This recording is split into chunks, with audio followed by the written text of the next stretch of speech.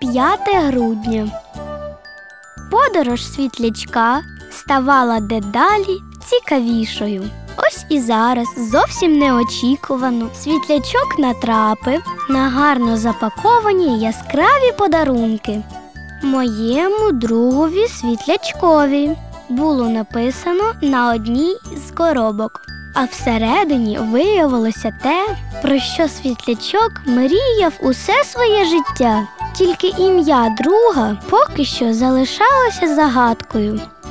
Світлячок не міг збагнути, хто ж так добре знав його, але з великою радістю і вдячністю взяв подарунок від таємного друга.